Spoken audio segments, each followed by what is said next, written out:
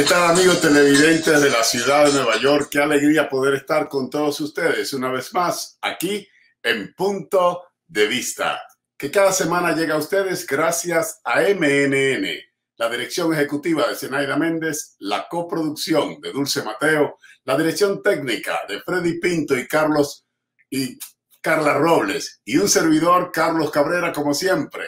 Les agradezco de que estén ahí de que puedan estar con nosotros, que podamos usar esta plataforma que nos presenta MNN para entre todos hablar, hablar de las cosas que tienen que ver con nuestra gente, las cosas que tienen que ver con este gran arco iris cultural y étnico que es la ciudad de Nueva York.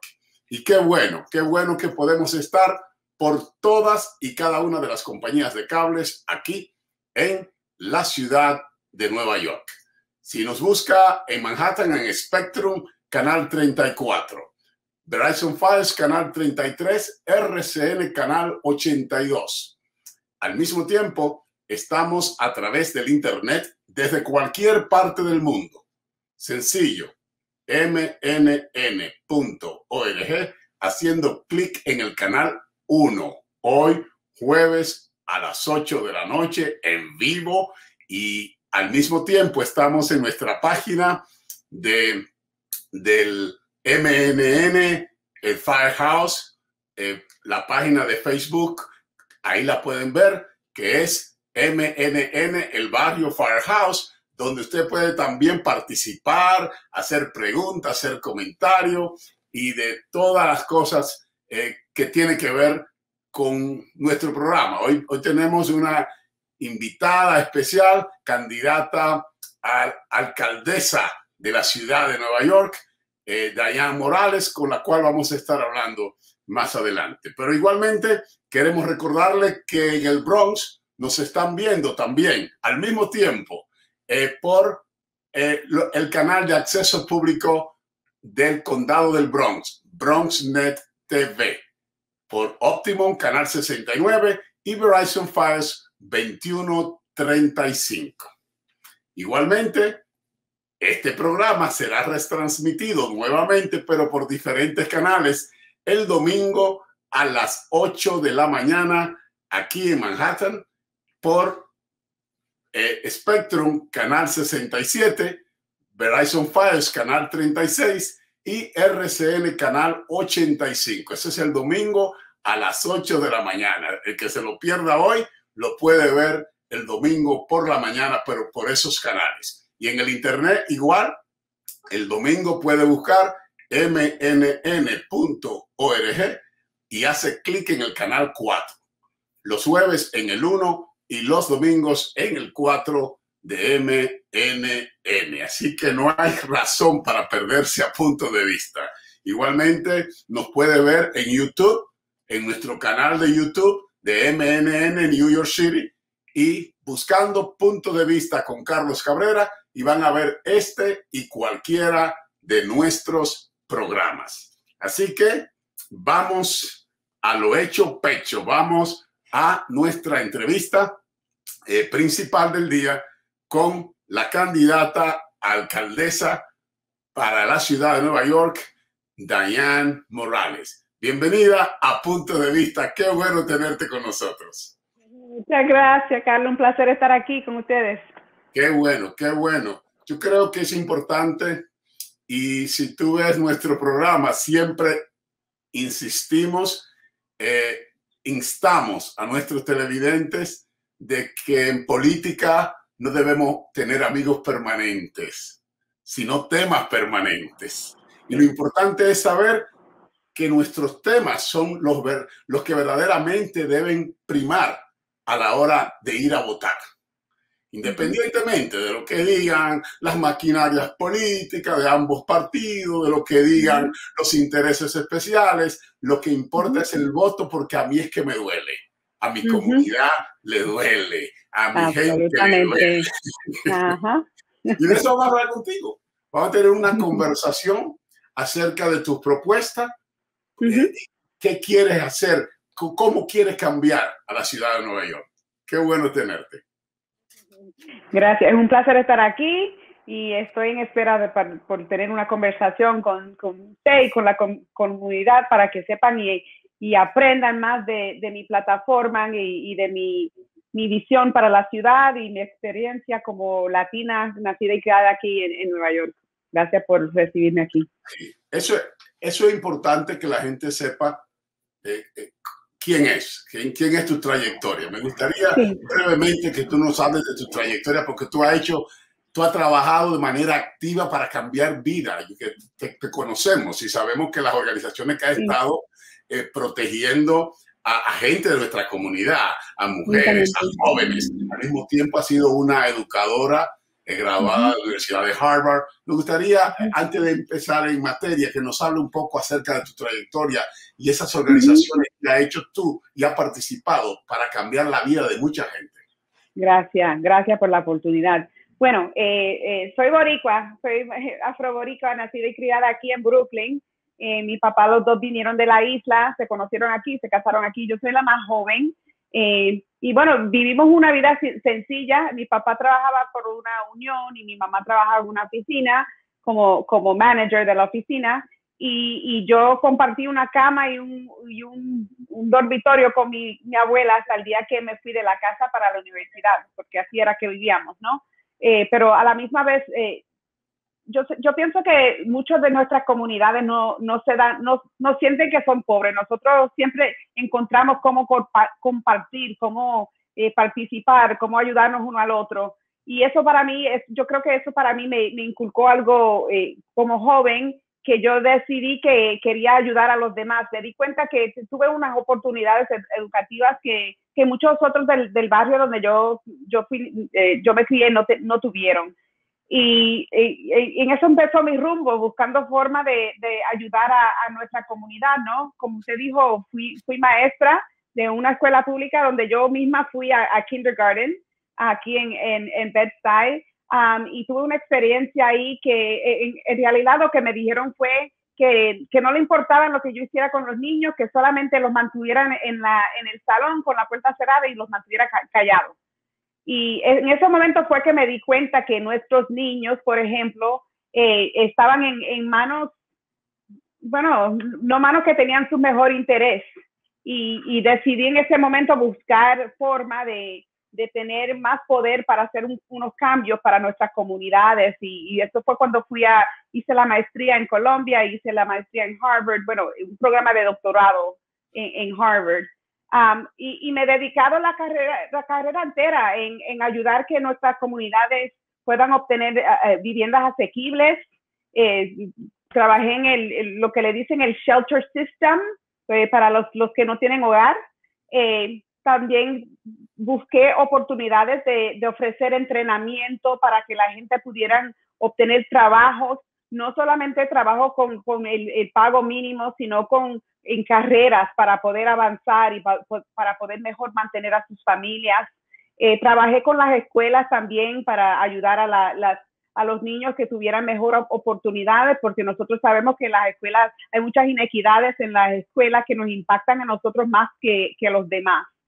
Eh, yo he tenido mucho, mucho éxito como directora ejecutiva. Los últimos 10 años pasé, los, pasé trabajando en el sur del Bronx, eh, en el, en el distrito, distrito congresional más pobre de, del país.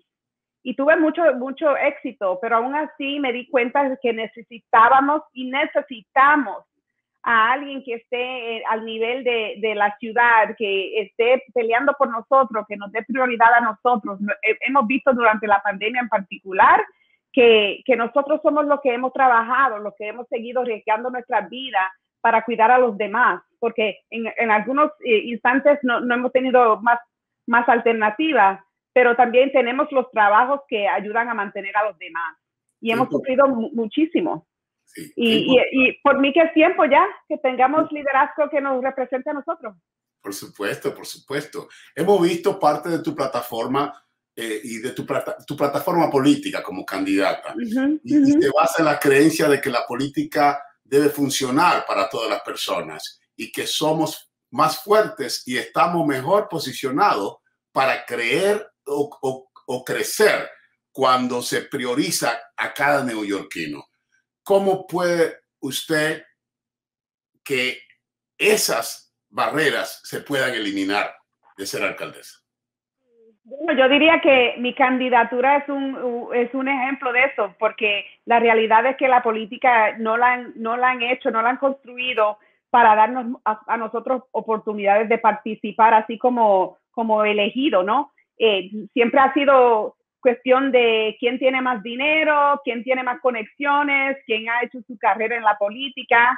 Y cuando yo me tiré como candidata, eh, siempre eh, lo primero que fue que como que como que no me pusieron atención, como que yo no importaba, que, que, que, no iba a llegar a ningún, a ningún lado. Y lo que ha pasado es que el pueblo, como yo digo, la gente de la comunidad me han apoyado. Y, y ha sido a, donaciones de, de, 10 dólares a la vez que hemos, eh, eh, hemos eh, llegado a nivel de, de, calificar para los fondos, los fondos públicos, que, que en realidad lo que hacen es por cada 10 dólares que, que, me, que me haya donado un residente de Nueva York, la ciudad me da 80 dólares. Y de esa forma hemos podido seguir y mantener y hemos tenido, hemos, bueno, he, podido lograr más donaciones de neoyorquinos que cualquier otra candidata en este, que cualquier otro candidato en esta campaña, excepto uno. Y para mí eso es algo, eso es algo significante. Soy la primera latina que se ha postulado para la alcaldía y estamos, por mí que el pueblo está diciendo, estamos presentes y no vamos a dejar que nos sigan excluyendo de este proceso. Muy importante eso. Tan, tan, tan importante es el hecho de que Nueva York ha sido impactado económicamente, fuertemente. Yo vivo, yo, yo vivo en New Jersey, pero trabajo en Nueva York y alrededor, eh, eh, yo estoy haciendo este programa desde, desde mi casa, desde marzo del año pasado. Igualmente en mi oficina hago todo el trabajo desde aquí y no voy a la 18 donde está mi oficina desde ese tiempo. Pero igualmente el 90% de las personas que trabajan en Nueva York, en diferentes oficinas, que están trabajando desde la casa. Nueva York ha sido impactado económicamente en todos los sentidos. Y mi pregunta a usted es, ¿cuál es su plan para sacar a la ciudad de Nueva York del caos financiero en que se encuentra debido al impacto de esta pandemia?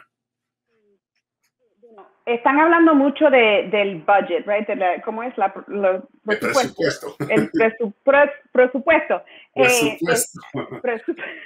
Así mismo, está bien. Eh, y están hablando de que no hay fondo.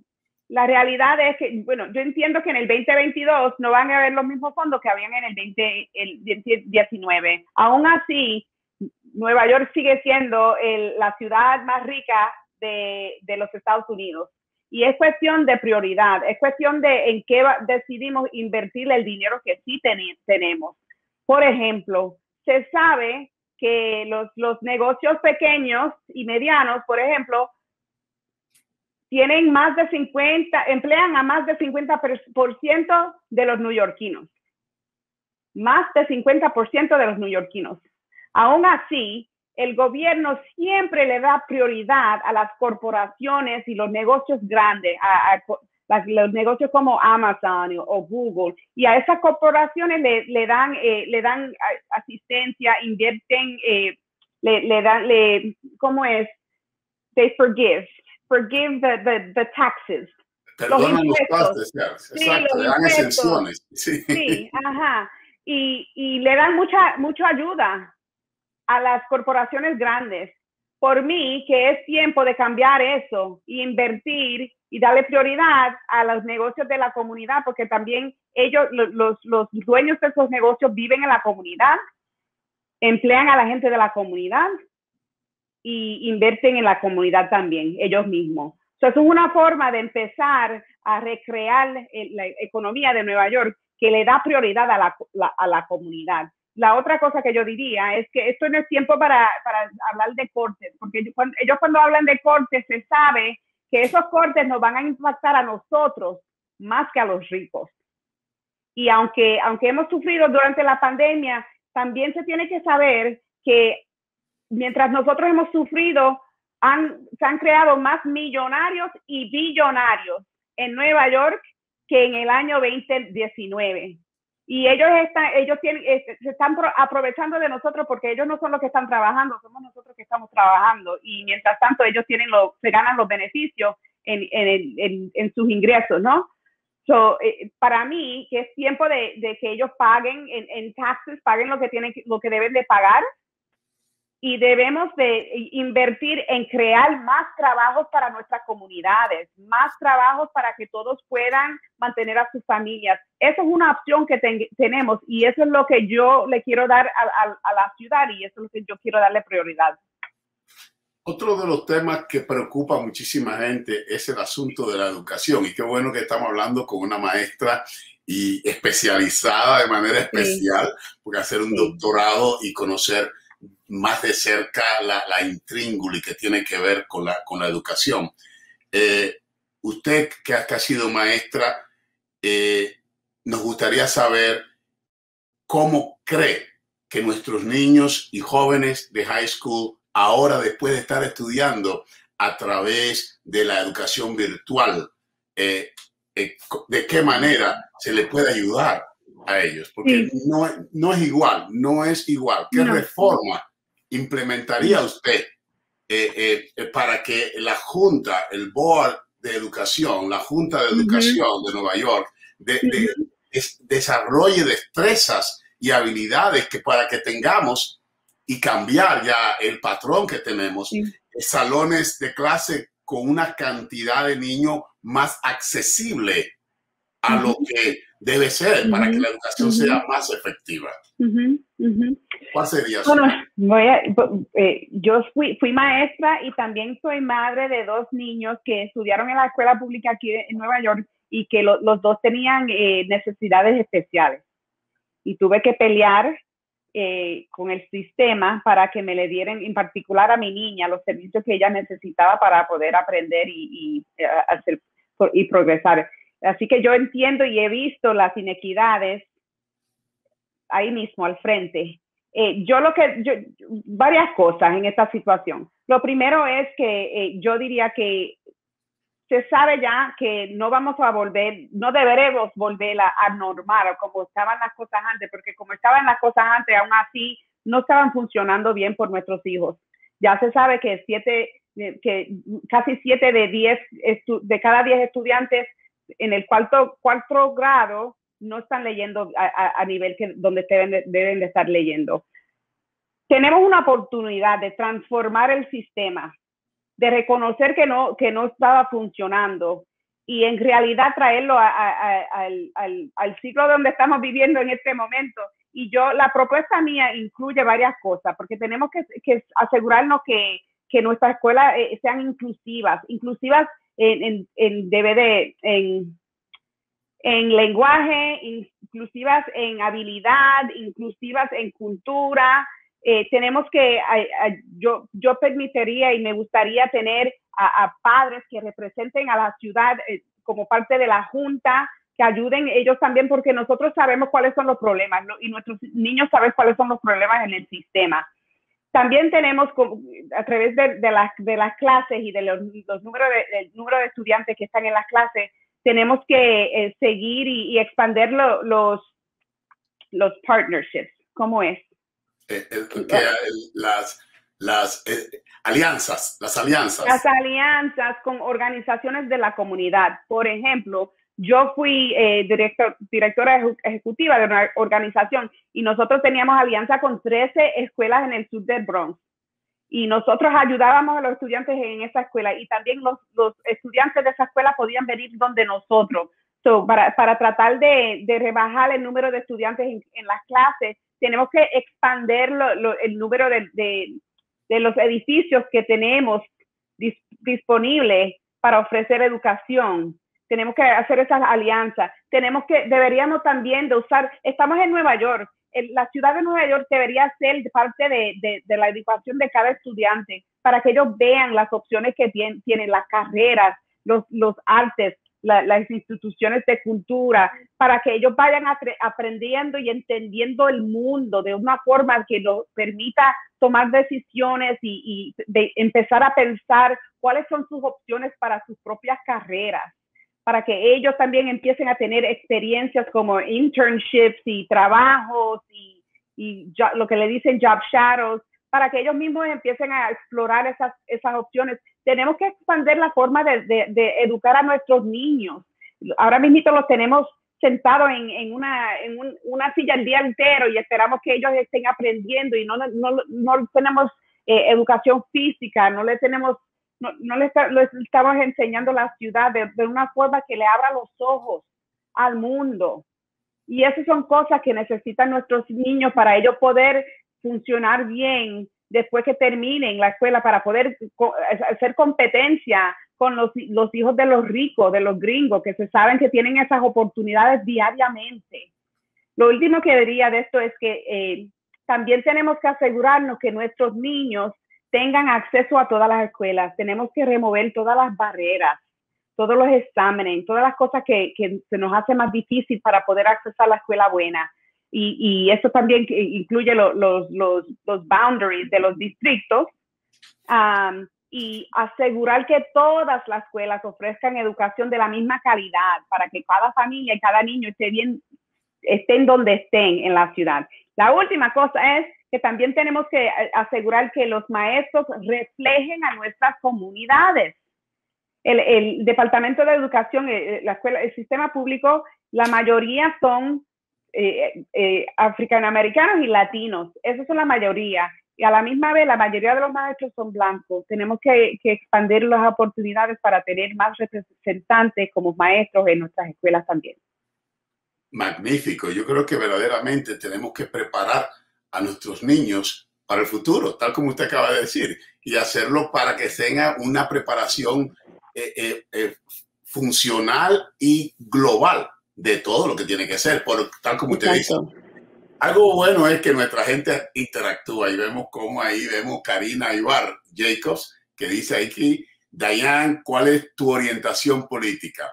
A menudo las personas son electas y pierden los valores, integridad que se requiere para seguir sirviendo a nuestras comunidades. ¿Cómo vas a asegurarte de que no te vas a vender? Eh, Una translación ahí en Sí, sí, no, está bien, está bien, eso yo lo entendí. Eh, eh, muy buena pregunta y eso es algo que me, me distingue a mí eh, a los otros candidatos que están que se están postulando en este momento yo, como yo dije al, al, principio, yo llegué a este punto a través de, del apoyo de la comunidad. No tengo, no tengo eh, relaciones ni, ni, no le debo nada a, a nadie, ¿no? yo diría como de, de, la, de la política, de las corporaciones. Todos, todos los otros candidatos que se están postulando tienen apoyo de lo que le decimos PAC, eh, un, comité de, político de, acción que vienen siendo gente con intereses especiales que deciden que van a apoyar un candidato porque quieren hacerle, quieren hacerle impacto, ¿no? Quieren hacerle influencia en sus decisiones cuando, cuando y si se elijan a, al puesto. Yo no tengo eso. Yo para mí, mi, responsabilidad es solamente al, pueblo, porque he llegado aquí como a, a 10 dólares a la vez de las donaciones y, a pesar de que nadie pensaba que yo iba a llegar aquí. Y, lo otro que diría sobre esta pregunta es que yo me he dedicado mi vida entera a en trabajar en la comunidad. Yo los últimos 10 años en el Bronx, los 6 años antes de eso en Manhattan, yo siempre me he dedicado en elevar y apoyar a nuestra gente y ayudar a que nuestra gente reciban los recursos que necesitaban para poder vivir con dignidad esto para mí es el, próximo nivel de, mi trabajo, de mi servicio a la comunidad para poder representarnos a ese nivel. Y, como yo no tengo historia en la política, me siento bastante segura de que eso no, va a ser problema para mí porque yo sé que yo sé quién soy y sé de dónde soy y esos son la gente que yo quisiera representar y elevar en la ciudad. Muchas gracias a Karina Ibar por, por hacer su pregunta también. Y a eh, eh, eh, invitamos a la gente ¿verdad? que interactúe, por eso es que somos. Qué bueno, ¿verdad? Una de las cosas que hablamos brevemente acerca de, de los empleos y, y, nos gustaría que nos abundara un poquito más cómo cómo crearía más trabajo para los neoyorquinos, porque mucha gente ha perdido el trabajo y mucha gente está preocupada eh, producto de este problema. Bueno, yo tengo, mi plataforma tiene varias opciones que, que, quisiera desarrollar. La primera es lo que le decimos en inglés el care economy. No sé cómo traducirlo, pero en realidad el care economy se consiste de las posiciones que, que en la sociedad nos ayuda a cada cual funcionar a través de cuidar a, a un familiar. por ejemplo, el, el, el, cuido de niños, eh, el cuido de ancianos, eh, lo que le dicen home health aides. Sí. Um, home attendant, como dice la gente. La home, attendant, sí, exacto, exacto. Todas esas posiciones son posiciones que, que a través de ayudar, cuidar a alguien, permite que alguien más en la casa, en el hogar, pueda mantener su trabajo, ¿no? Eh, esas posiciones a la misma vez, por, tan, tan, críticas que son en, la economía, esa gente no, no, no, le, no se le paga buen sueldo, ellos viven como en los márgenes a través de, la economía porque no tienen mucha seguridad. Deberemos de expandir el número de posiciones en el care economy y asegurar que todos se ganen un sueldo y que puedan vivir ellos mismos en dignidad.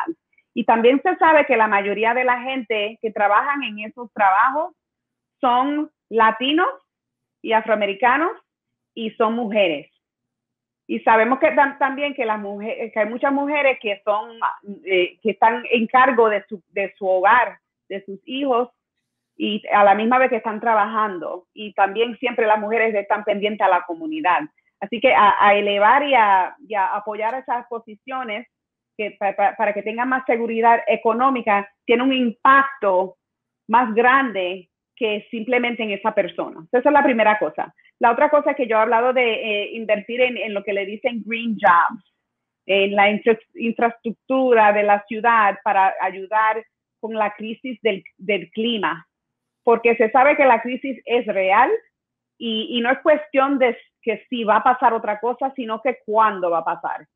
Y podemos invertir para ayudar la infraestructura de la ciudad a la misma vez que estamos creando trabajo, buen trabajo para hacer esa función. Y eso se puede hacer en, alianza con CUNY, que puede hacer el, el entrenamiento y, ayudar con el, desarrollo de, ese trabajo. Esas son unas cosas, yo también hablé de, los negocios pequeños y este, la, infraestructura. Esas son las cosas que yo pienso que deberíamos de estar invirtiendo para crear más trabajos y a la misma vez elevar a nuestra ciudad.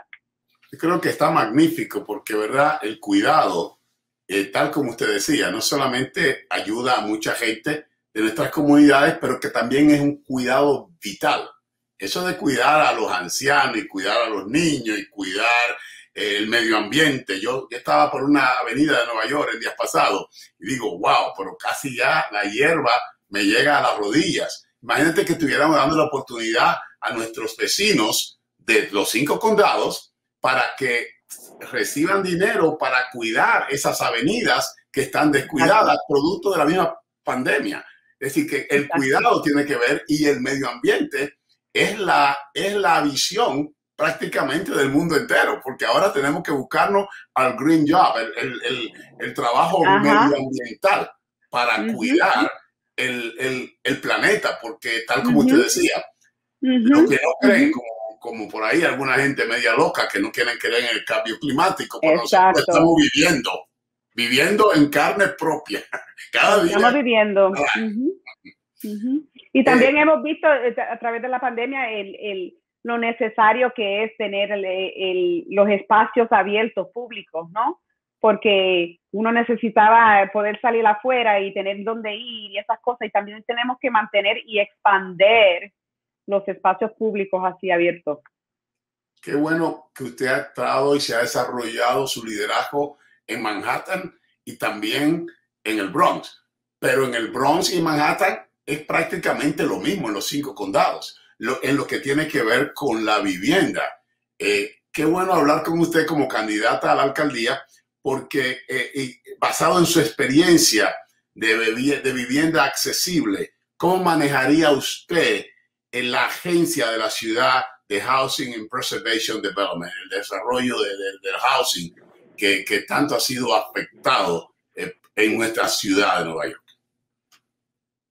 El problema con nuestra ciudad es que siempre le hemos dado, le hemos dado prioridad a las corporaciones grandes, a los negocios grandes y en, la cuestión de, vivienda a los desarrolladores de lujo.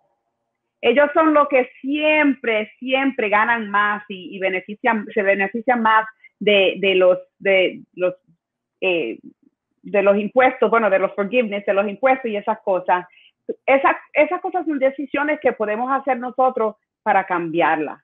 Y por mí, yo diría que, que lo que estamos invirtiendo ahora mismo en, en, los desarrolladores de lujo, que en realidad lo que nos da, eh, nos, nos, da eh, es un, un, dos, un, un porcentaje muy bajo de supuestamente viviendas asequibles, que en realidad no son asequibles para la mayoría de neoyorquinos, deberíamos de, invertir ese mismo dinero en la comunidad, en organizaciones que se dicen affordable, community-based affordable housing developers, que son desarrolladores sin, sin fines de lucro, que son conectados con la, ciudad, con la comunidad, con representantes de la comunidad, para que ellos sean los que están, estamos invirtiendo el, el dinero con ellos y estamos trabajando con los miembros de la comunidad para determinar la vivienda y lo que va a pasar en la comunidad. Hay un concepto que se dice Community Land Trust, que también incluye no solamente las viviendas asequibles, pero vamos a hacer como una comunidad aquí que tenga supermercado, que tenga farmacia, que tenga escuelita, que tenga negocios y todo, vamos a darle prioridad a las viviendas asequibles para nuestra comunidad, en vez de seguir dándole los breaks a los desarrolladores de, lujo. Esos breaks se los podemos dar a la comunidad.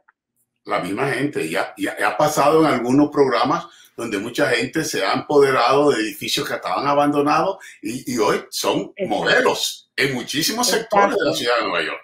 Exacto, exacto. Imagínate, imagínate si el gobierno estuviera asistiendo a esas comunidades, ¿verdad? Eso, eso podría desarrollar mucho más rápido y también todo el, terreno que tenemos que, que, pertenece al gobierno, dedicarlo en, en desarrollar viviendas asequibles, no, no vendérselo a los desarrolladores de, de, lujo para que ellos hagan más vivienda que uno no puede, que, que, no es accesible para nadie.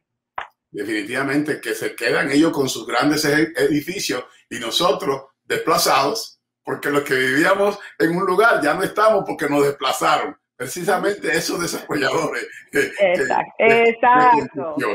Eso es el problema. Otro tema que nos ha afectado mucho a nosotros es eh, que durante esta pandemia ha tenido un efecto devastador en la salud física y mental, sobre todo de nosotros, los latinos, en la ciudad de Nueva York.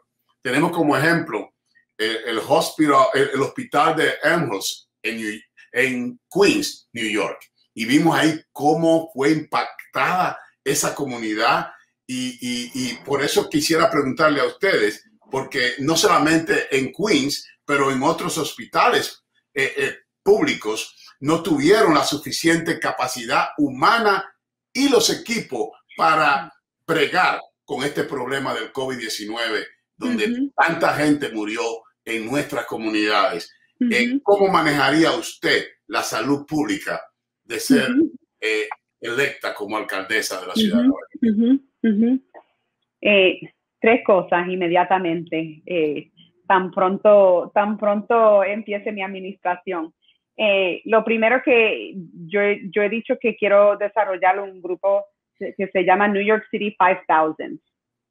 Um, 5000 people, gente, que vayan a las comunidades para determinar que, hablen los lenguajes de la comunidad, que reflejen la, cultura de, los, de la comunidad, para asegurar que la gente de, la comunidad sepan los, cuáles son los recursos que están disponibles para ayudarnos a través de, de, la pandemia, de forma económica, de forma de vivienda, de todo.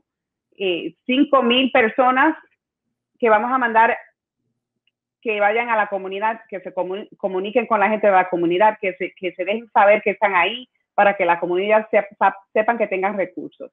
La otra cosa es que eh, un data, uh, COVID Data and Equity Platform.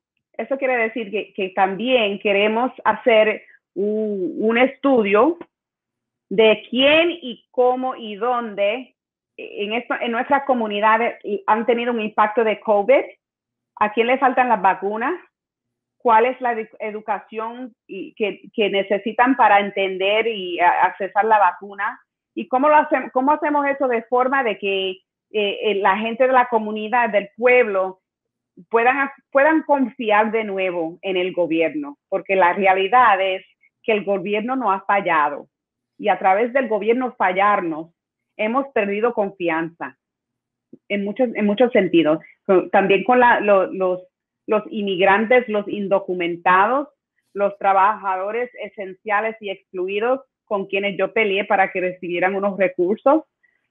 Eh, tenemos que, ganarnos de nuevo la confianza y tenemos que hacerlo de una forma en que estamos eh, colaborando con los miembros de la comunidad. Lo último que diría sobre esto, aunque no es lo último de la plataforma, pero en este momento, eh, que yo también he, dicho que tenemos que desarrollar eh, clínicas de la salud en la comunidad que son integradas.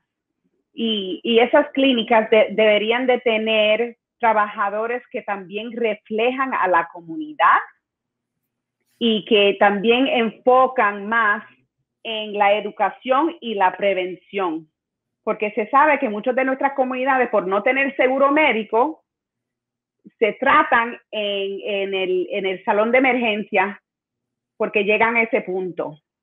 Y a la misma vez tenemos que, tenemos que pelear con, la, con el Estado, el, gobernador y, el legislature para asegurar que, que le den seguro a todos, seguro médico a todos, pero a la misma de, hacer eso, enfocarnos en, la educación y la prevención en la comunidad para que la gente tenga acceso en su comunidad a los servicios que necesitan.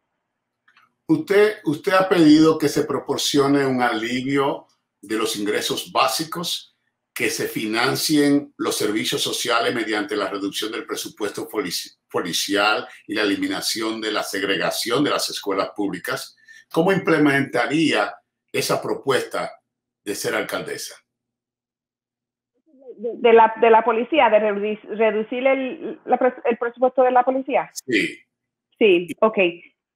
Sí, e, esto, esto es una cuestión eh, eh, de varias cosas. La, primeramente es que nosotros tenemos, la, el, el, la policía de Nueva York tiene un presupuesto más grande que cualquier otra policía, oficina de policía en, en, el, en el mundo. Y eh, por mucho tiempo hemos, hemos hablado como que policía tiene que ver con seguridad, pero la realidad es que si la policía y la seguridad fueran lo mismo, fuéramos la ciudad más segura del mundo. Y se sabe que eh, la policía también nos, nos hace daño a nuestra gente, los, trabajadores, los, street vendors, los, vendedores eh, que, que, han sufrido bastante a, a, mano de la policía. Eh, yo lo que he dicho es que, y, otra cosa, la policía lo que, lo que se dedica en resolver o, enfocarse en, en, crimen violento, 4% de su tiempo. 4%. La mayoría de su tiempo se pasan con, eh, con gente que, no tienen vivienda, con gente que, que tienen problemas de salud mental, con gente que tienen este, problemas con drogas. Y en esas situaciones ellos no están, ellos no están preparados para intervenir y ayudar a esas personas. Lo que pasa eh, usualmente en el mejor caso es que, que, lo llevan a la cárcel por una noche, el, próximo día lo, lo, sueltan de nuevo en, lo, en la misma posición. Y en el, pero la peor situación es que le, hacen daño, lo matan. So, yo he llamado, yo, yo he dicho que quisiera crear un Community First Responders Department, un departamento para, dar asistencia a la gente que están en crisis y que los conecte con otros servicios para poder mejorar su situación. que puedan responder en ese momento, en el momento de crisis y, y, que puedan bregar con esa persona que está en el momento de crisis, que estén entrenados específicamente para intervenir en esa situación y para también conectar a esa persona a los servicios que necesite para que el próximo día esa persona esté progresando, no esté regresando a la, al mismo problema. Así es que ayudamos a, nuestro, a, nuestros eh, vecinos y así es que, eh, que, seguimos asegurando a nuestra ciudad, porque si mi, mi, vecino está un poco más seguro, yo también voy a estar un poco más seguro. Eso es una de las formas. En las escuelas tenemos que sacar la, policía de la escuela porque la, policía en la, escuela ya se ha visto que eso como comienza lo que le dicen el School to Prison Pipeline para, para, nuestras comunidades. Eh, necesitan, los, nuestros, nuestros niños necesitan médicos, enfermeros, eh, consejeros, eh, asistencia con, con explorar sus carreras. Esas son las cosas que deberemos de estar proveyendo para nuestros niños definitivamente, ¿verdad? Y, tal como usted decía, si yo soy de la comunidad, el policía viene cuando lo llaman porque ahí pasó algo. Pero yo todos los días, 24 horas, estoy en el vecindario, mira, él no está bien, porque yo lo conozco, lo veo por años, ¿verdad? Tiene una lógica grandísima lo que usted está hablando.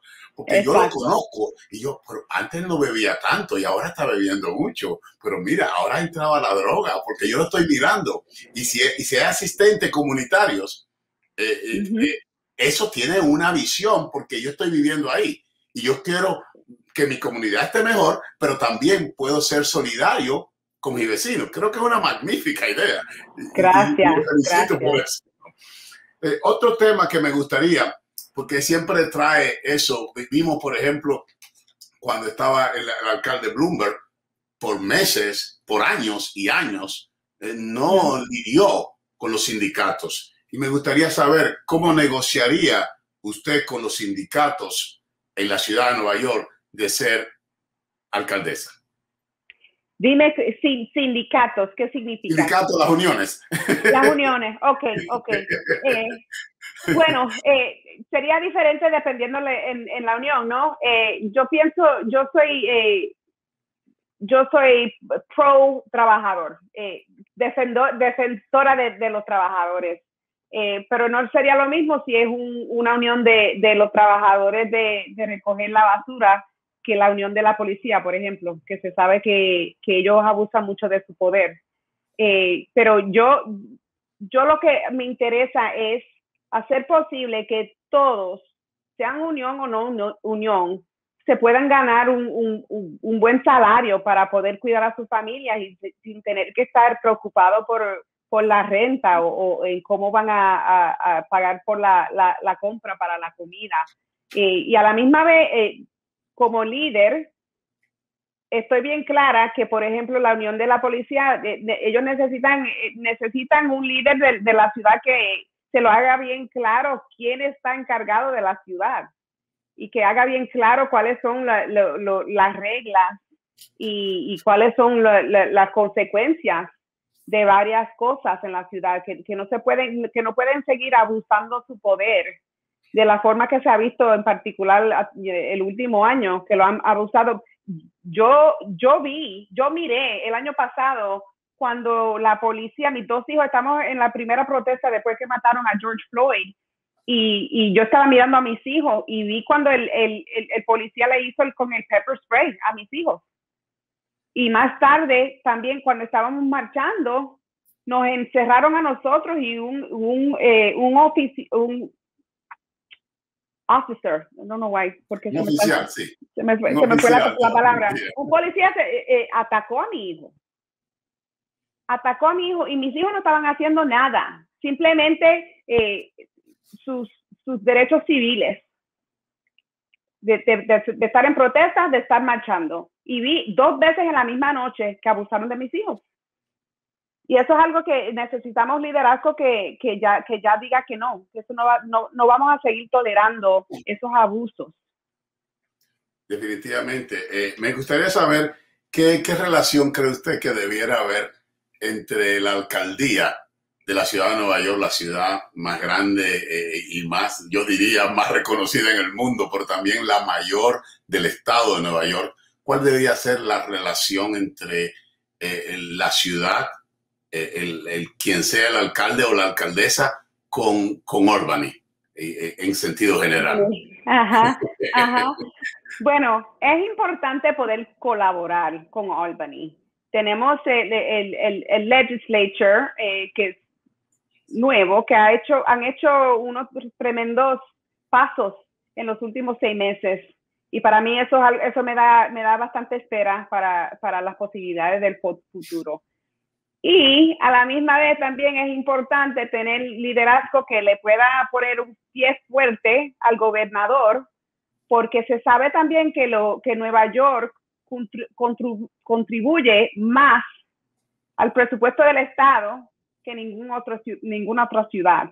Y, no nos están dando a nosotros lo que, lo que merecemos a través de contribuir tanto al, al, presupuesto del Estado. Entonces necesitamos una mano fuerte que, que en realidad eh, en realidad nos ponga a nosotros primero, que, que no le tenga miedo you know, enfrentar al, gobernador y trabajar en colaboración con, con, el legislature de forma, de, de forma para, para en realidad darnos, darnos a nosotros los neoyorquinos la prioridad que, que merecemos.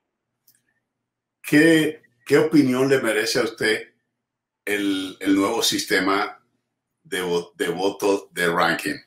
De ranking, ajá, de preferencia. bueno, yo, yo diría, para mí, eh, en, eso lo han hecho, lo han desarrollado en, otras ciudades en, el país.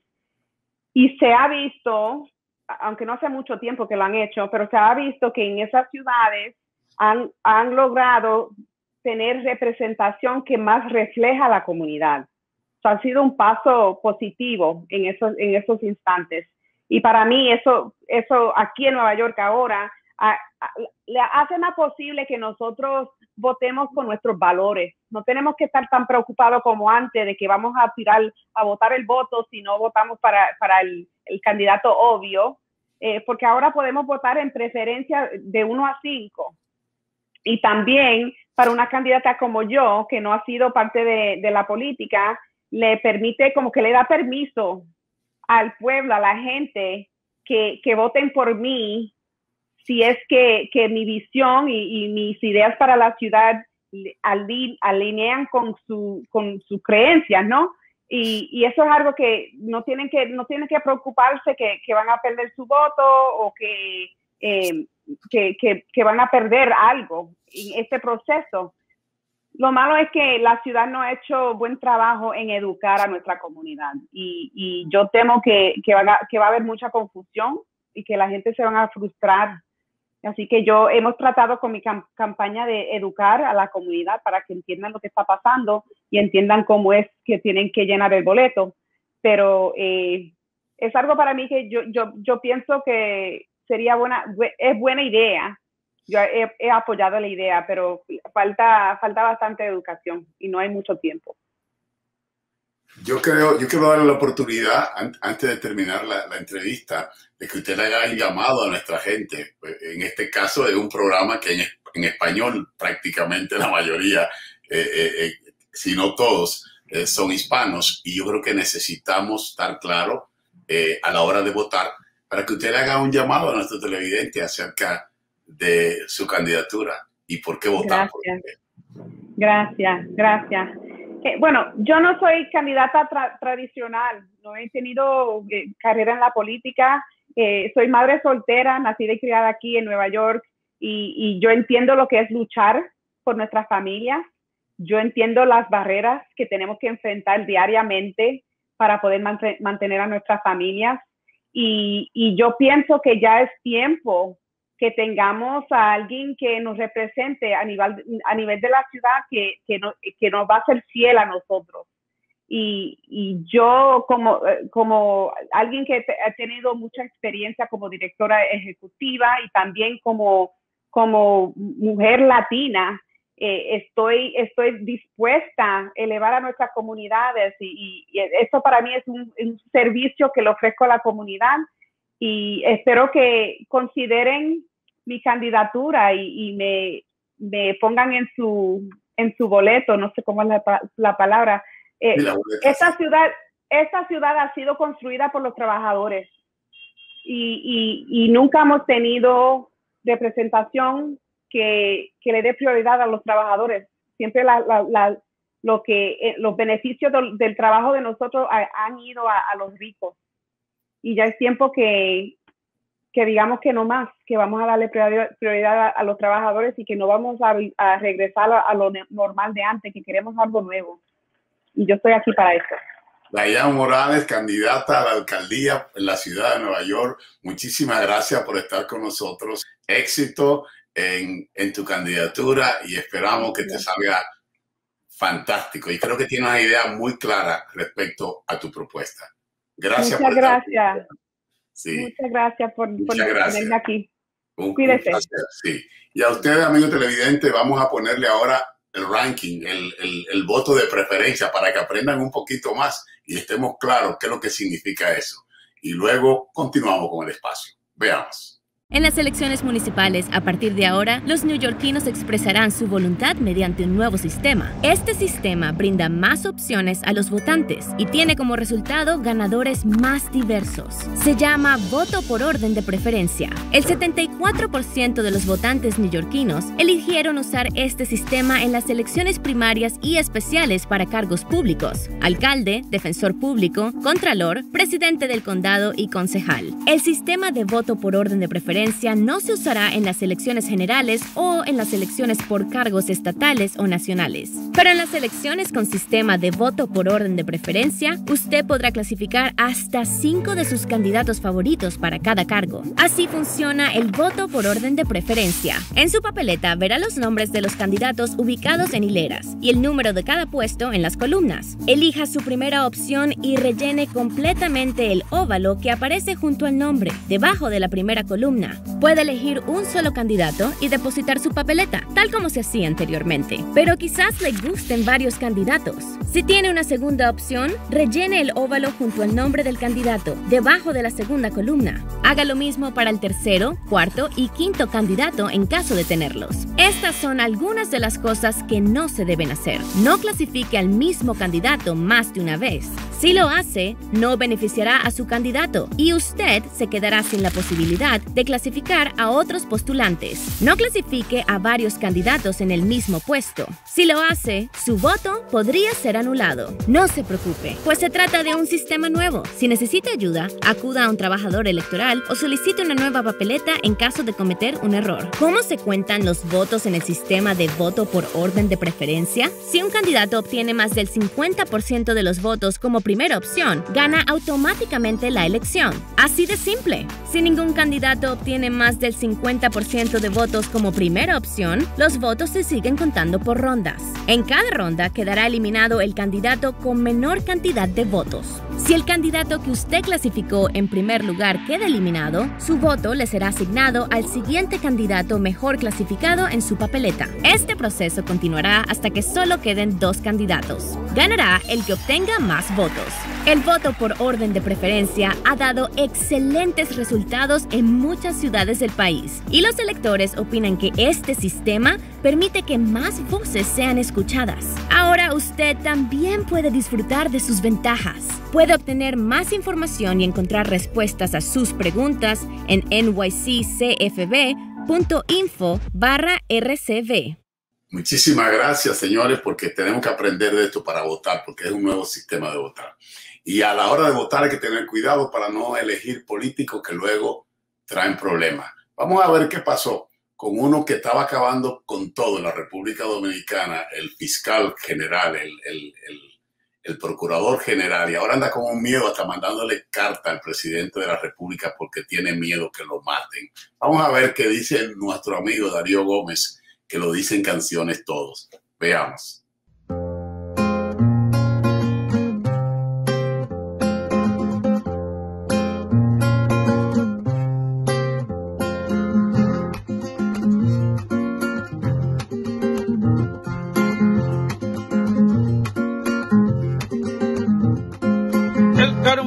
seguro, igual temprano que tarde, por eso el pueblo está viendo cómo se queja cobarde. Analán anda clamando la ayuda del presidente, dice temer por su vida y que lo tienen caliente. Dice uno quiere matarlo, otro darle un pescozón, se refiere a Díaz Rúa junto con Ángel Rondón. El hombre casi no come, no puede dormir tranquilo, que hace algunos meses tiene el síndrome de Danilo. Por perverso y malo, ahora anda asustado, sí, por perverso y malo, ahora anda asustado. Por perverso y malo, ahora anda asustado, que por perverso y malo, ahora anda asustado. Parece que está pagando todo el daño que le hacían cuando lo tenían de jefe en la Procuraduría. Actuaba muy descarado, era una mala pulilla, ahora se encuentra asustado, se le viró la tortilla. Creo que está equivocado el terrible Yanalán que le escribió al presidente cuando era Miriam Germán. Ese tipo era perverso, hoy se le ve preocupado, de la cárcel no lo salva ni el chapulín colorado.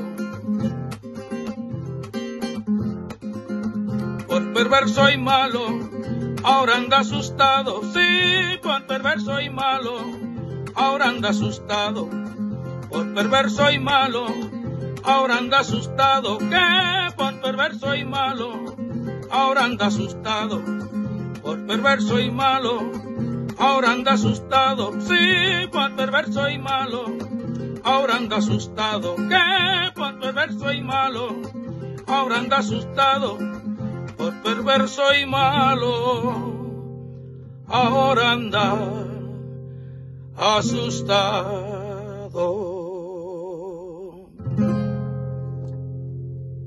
Gracias Darío Gómez, gracias a ustedes amigos televidentes, gracias a MNN que hace posible este programa, Zenaida Méndez, nuestra directora ejecutiva, Dulce Mateo, nuestra coproductora. Y la dirección técnica de Freddy Pinto y Carla Robles. Será pues hasta la próxima semana.